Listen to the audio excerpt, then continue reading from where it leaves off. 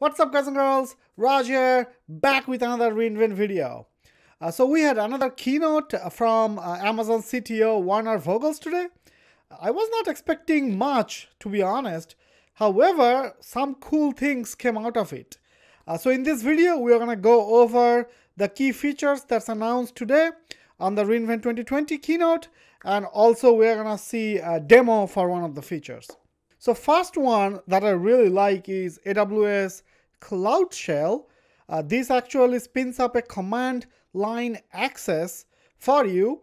Uh, so currently, if you need to run some AWS CLI commands, uh, you have to either uh, get IAM credentials and set up AWS configure in your uh, Visual Studio Code or some other terminal, or you have to spin up a Cloud9 instance, right? T3 Micro, T3 Small, or something like that, uh, which is kind of inconvenient.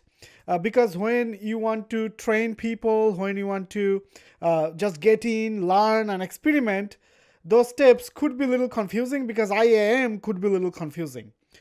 With Cloud Shell, AWS gives you a CLI with uh, AWS CLI installed, SAM tool installed, and it also comes with one gigabyte of storage and it's no cost and it will have access to all the AWS services. So you can just dive right in and start running AWS commands. So actually, uh, let me show you guys and girls real quick. Uh, so I'm gonna do a quick demo. So I'm in AWS Management Console. So I'm gonna search for Cloud Shell. Okay, they also changed this search functionality by the way.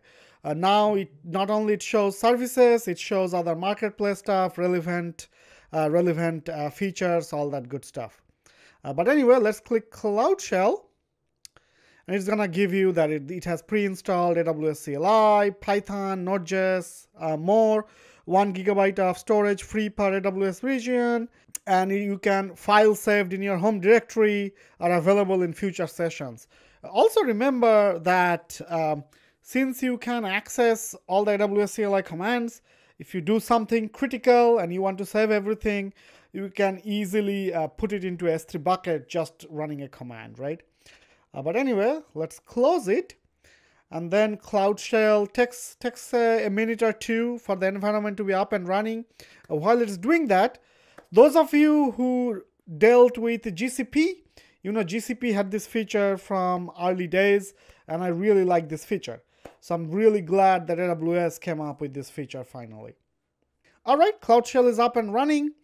Uh, so if I do this, AWS S3 LS, um, it should show all the S3 buckets here. So it shows that AWS CLI is actually installed here. Also, if I do SAM version, uh, you should see a version for SAM CLI as well. So that's also installed for you. However, uh, I wanted to run Kubernetes so EKSCTL and kubectl uh, is not installed by default. Uh, however, I'm going to install it and then uh, create a EKS cluster from this.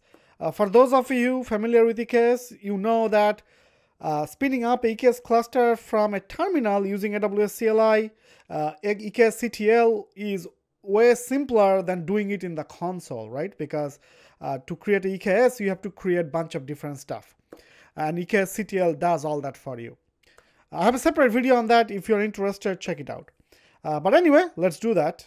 Okay, as you can see, I installed EKSCTL and then kubectl. And now to create the cluster, I'm simply gonna run EKSCTL create cluster.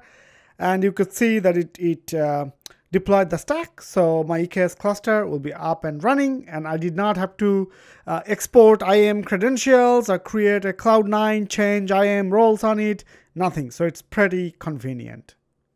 All right, so the next big announcement is managed Prometheus for Kubernetes. Uh, so, so you can of course install Prometheus and then run Grafana on top of it. I also have a separate uh, tutorial video with step-by-step -step demo how to create different Grafana dashboard and everything in a separate video. I'll link it up top. However, this takes away all the headache from you, right? So, so for those of you who, who are saying, okay, this is open source, I can always install it. Think of it like when you are working in a real world application with let's say 500 node Kubernetes EKS cluster, right? Then some uh, uh, AMI is getting changed, you are adding more stuff, new clusters coming up. So that's a lot of things to manage yourself. Yes, you can do it, but if AWS manages it for you, uh, you can use that time to do something more meaningful like develop business features uh, to help your enterprise. Second thing, which I am really passionate about is um, it actually democratizes the technology, Kubernetes. So I like Kubernetes. I have a separate course on Kubernetes. However, Kubernetes could be a little difficult to learn. Uh, for all the newcomers, there is a learning curve. With all these managed feature, uh, the newcomers can actually adopt this much more easily. Like they don't have to worry about installing Prometheus, Grafana when Kubernetes version gets upgraded. They don't have to think about whether it breaks uh, Grafana or something. Uh, so, and then it, it gives the people who are not in Kubernetes study it and switch their career. So it kind of helps them. So I am really passionate about uh, that part. So I'm going to have a separate video on this. This is in preview, uh, the managed Prometheus, but it has, uh, it needs a little bit more deep dive. So I'm going to have a separate video with demo on it. Uh, so keep your eyes out for that. So the next big announcement is, which is kind of expected, is managed Grafana. Uh, so if, if AWS is offering managed Prometheus, so it makes sense that AWS will offer managed Grafana as well. Uh, this is not a fully open preview, Prometheus is. Uh, so I applied for the open preview for my personal account. As soon as I get it, I'm going to include it in the demo as well. The last feature that I really like is AWS Fault Injection Simulator. So this is basically Chaos Monkey uh, open sourced by Netflix, right? So Netflix will um, release this chaotic programs and script which will increase the traffic, uh, bring down uh, servers, uh, like do crazy random stuff.